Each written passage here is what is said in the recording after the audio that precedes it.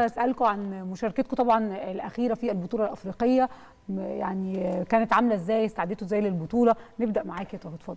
والله إحنا كان عندنا دايما أي بطولة سواء آه، بطولة دولية أو بطولة آه، ليها علاقة بطولة العالم أو دوري عالمي بنستعد قبلها بفترة ممكن تقريبا مدة شهر.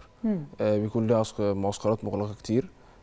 تقريبا إحنا ما بنخرجش من المعسكر غير يوم أو يومين يا دوب بنريح فيهم وبعد كده بنرجع معسكر تاني بنتمرن في اليوم ثلاث تمارين.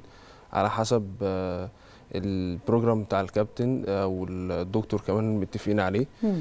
آه، طبعا ما بتبقاش عارفين نكلم أهلنا مش عارفين نعمل أي حاجة خالص غير إحنا بنتمرن وبنستعد للبطولة.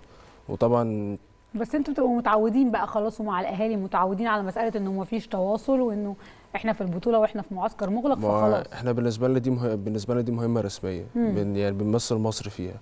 ومش قادرين إحنا نسافر بطولة زي بطولة أفريقيا أو بطولة عالم وما نجيبش فيها نتائج لأن إحنا يعني معروفين إن أبطال مصر كلهم هم اسود العالم وإحنا لسه محققين من السنة اللي فاتت أو السنة اللي قبلها إن إحنا الأول على العالم كله مم. في كل المراحل فما أعتقدش ما إن. بطولة زي دي يعني هنقدر إن إحنا نجيب فيها تاني حتى على الأقل بالنسبة لنا تبقى خسارة فالحمد لله استعدينا لها كويس وجبنا نتائج اللي حضرتك شفتيها